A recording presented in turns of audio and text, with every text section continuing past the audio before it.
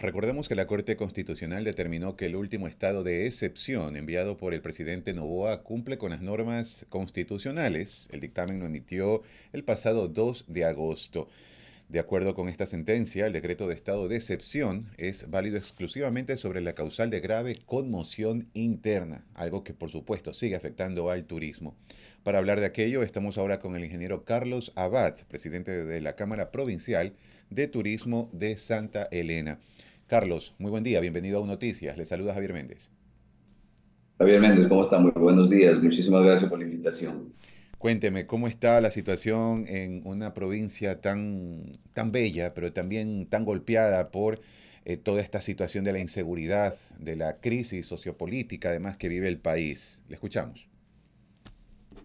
Sí, bueno, eh, bueno, la provincia de Santa Elena, obviamente, por ser una de las provincias que vivimos o dependemos al menos un 75% de la población directamente por, del turismo, y con todas estas medidas, aparte obviamente que ya hemos venido golpeados no solamente por parte de la pandemia, había conmoción social en el 2019, eh, luego la pandemia y ahora estamos con, los, con todos estos estados de excepción que no han cesado ya desde estos últimos dos gobiernos. Obviamente eh, la situación económica en referencia al turismo en lo que es la provincia de Santa Elena ha pasado de peor a caótica. Eh, no vemos realmente en este momento todavía una salida. Eh, eh, las estrategias que hemos adoptado realmente se han agotado y seguimos realmente en un declive. Entonces cada día vemos más. Siempre, obviamente, estamos oh, em, realmente con una buena perspectiva, que se viene un nuevo, una buena temporada, la siguiente temporada, la siguiente temporada, pero volvemos a caer en lo mismo.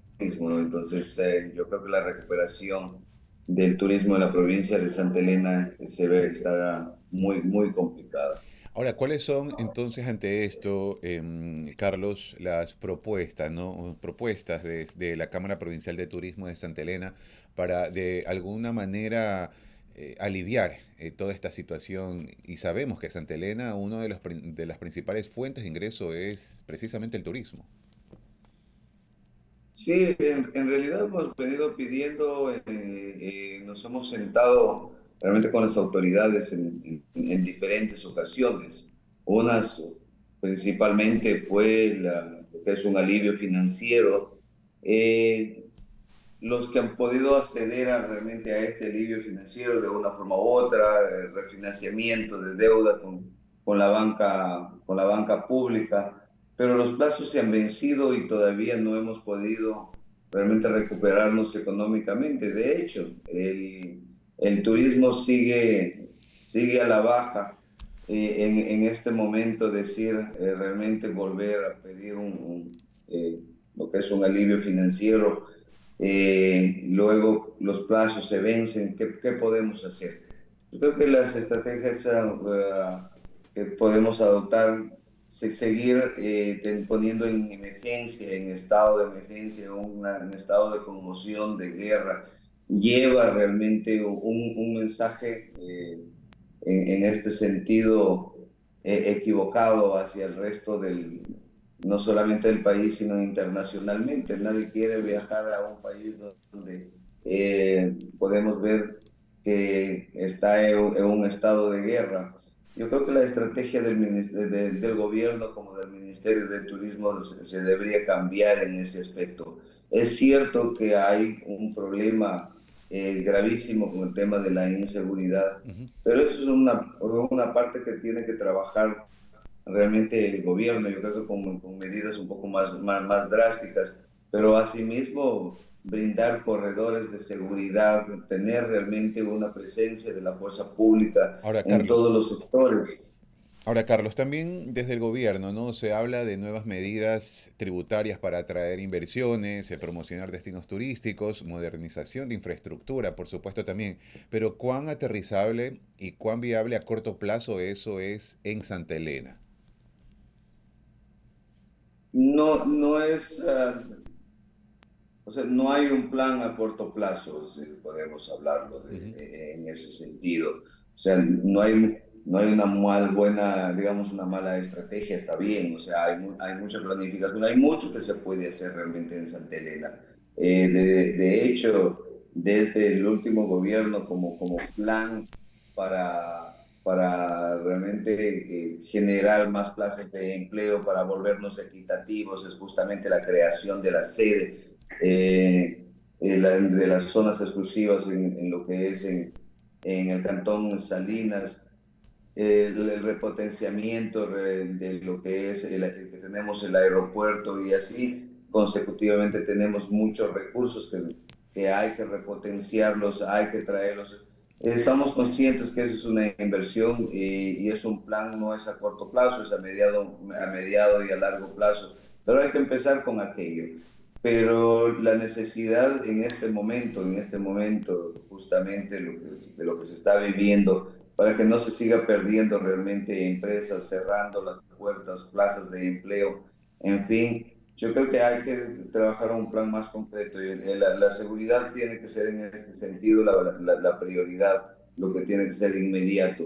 Dentro de los gas, dentro de las cámaras, hemos estado trabajando incansablemente en todo lo que hemos asistido, todo lo que son las promociones, las vitrinas turísticas, las ferias turísticas que se han que se han hecho, hemos invitado gente, expositores desde la parte de afuera, terminamos un congreso internacional hace tres, cuatro días, realmente nos estamos retroalimentando, pero nada de esto eh, haría sentido si la inseguridad, o sea, sigue latente, y más aún si seguimos promocionando o seguimos realmente diciéndole al mundo que el Ecuador está en guerra yo creo que el mensaje, el, el, mensaje que damos realmente no es positivo. Sí, estamos en guerra, tenemos un problema de inseguridad, pero eso es lo que tenemos que trabajarlo adentro, pero también tenemos que presentar hacia el mundo cuáles son las opciones, qué seguridad vamos a dar. Copiemos lo que pasaba, un ejemplo, Colombia. Colombia tuvo un problema mucho más grande que nosotros, pero les brindaba seguridad y el turismo continuó.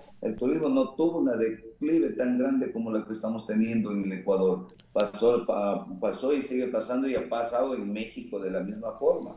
En este caso, cuando a las declaratorias de los estados de excepción, obviamente no venían acarreando tampoco los, los, los toques de queda.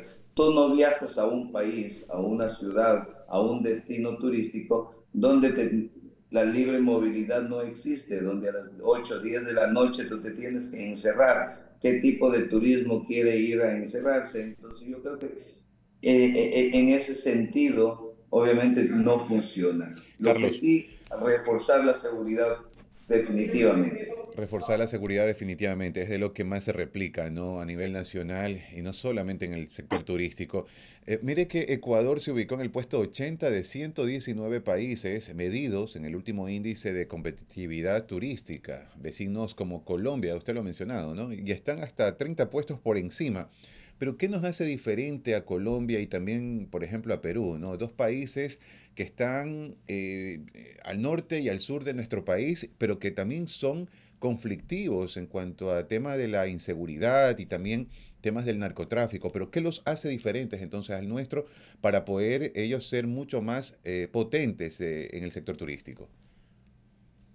Hay, varios temas. Uno justamente los controles, ¿no? el, control, la seguridad la, la promoción turística, eh, hablemos un ejemplo, Perú, Perú viene teniendo, eh, digamos, una marca país que han venido trabajando por muchísimos años y lo hacen muy bien a nivel internacional. Yo creo que eso ayuda muchísimo eh, también la presencia de la marca, la identificación como marca, como país alrededor del mundo. otro de ellos, obviamente, como decir Colombia, Colombia, si nosotros vamos por la frontera norte, hay corredores, hay corredores de seguridad donde realmente la fuerza pública eh, realmente te acompaña hasta los destinos, te encuentras en los destinos.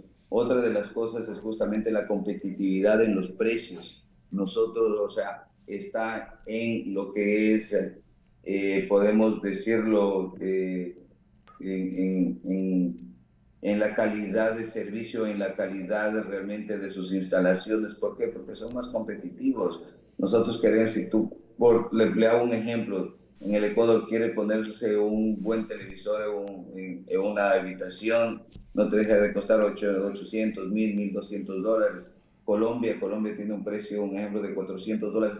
Y eso hace también más llamativo, ¿no? Donde puedas brindar realmente a un mejor precio, mejor comodidad. Y eso es lo que nosotros no tenemos. Nosotros tenemos los precios más altos en el Ahora, Carlos, eh, Carlos, eh, en este sentido también el ministro de Turismo, ¿no? Niels Olsen, ha informado pues que el gobierno eh, sigue trabajando, que va a lanzar un programa de reactivación del sector en el marco de la actual crisis de inseguridad que vive nuestro país, pero ¿alcanza o no alcanza con eso también? Bueno, no, no, hay, no, hay, no hay un mal plan. Yo creo que con Niels hemos venido trabajando en, en, en, muchísimas ferias, eh, eh, se ha venido trabajando en varias estrategias. Eh, hemos trabajado en la declaratoria, un ejemplo tenemos en, la, en, el perfil costero hoy en día, especialmente en la provincia de Santa Elena, la declaratoria de dos puntos específicos como rincones mágicos viene con ello justamente inversión, viene con ello eh, la, promoción, el, el, darle un poco más énfasis al, al, destino, a la provincia, al lugar. Eh, y hay que seguir trabajando, o sea, no, no, no podemos decir que hay una estrategia mala, pero hay que trabajar en las estrategias que, que, que sí funcionan. ¿Qué es lo que nos está acechando? Yo creo que el mensaje que tenemos que dar en este sentido, obviamente, que tiene que ver no solamente se trata de, lo que podemos brindar en este momento, lo, el, el, producto que tenemos, sino darle ese sentido de seguridad realmente al visitante y no solamente al visitante extranjero, sino al visitante nacional. Así es. Eh, estamos en una temporada de la sierra, un ejemplo, es una de las buenas temporadas que ha venido siendo por todos los años, cosa lo que no está pasando en este momento. Mi estimado Carlos. Eh, y, para cerrar la entrevista... ¿Por qué? Porque tienen miedo de viajar a la costa. Comprendo. Para, cerrar la entrevista, mi estimado Carlos, ¿no? También esa invitación en esta agenda de feriado de agosto, pues para todo el público, tanto nacional como, como extranjero, ¿no? Sabemos de las playas y los lugares eh, paradisiacos que tiene Santa Elena, Olón, Montañitas, Salinas, Ancón. Eh, esa invitación, Carlos. No, sí, eh, realmente estamos, yo creo que todo el sector turístico estamos preparados, yo creo que estamos muy unidos Realmente eh, no es solamente el trabajo de la fuerza pública, estamos la empresa privada realmente eh, bien unidos, preparados para brindarles seguridad, para brindarles comodidad, para brindarles esa rica gastronomía que tiene. Realmente es parte de nosotros los empresarios también el trabajo que estamos haciendo. Estamos preparados para que vengan a disfrutar de esas más de 26, 28 playas turísticas y maravillosas que tiene la provincia de Santa Elena. Y también les invitamos realmente no solamente al turismo del sol, playa y arena, sino también tenemos muchos otros atractivos como el agro, como el deporte, como eh, eh, lo que es la, gastronomía, están las artesanías. Hay mucho, que, mucho más allá que la playa de visitar en Santa Elena y, y por qué no eh, aprovechar en este momento realmente el avistamiento, las ballenas, que lo que hemos llamado es la gira del amor. Les invitamos a toda la población nacional, a toda la población extranjera que nos, nos visiten, visiten a Santa Elena. El trabajo también es nuestro, estamos preparados para brindarles no solamente realmente comodidad, sino también seguridad. Que así sea entonces, Carlos. Un gusto tenerlo aquí en Noticias, dada la invitación a una próxima ocasión. Muchísimas gracias a ustedes. Excelente día. Hemos estado con el ingeniero Carlos Abad, presidente de la Cámara Provincial de Turismo de Santa Elena.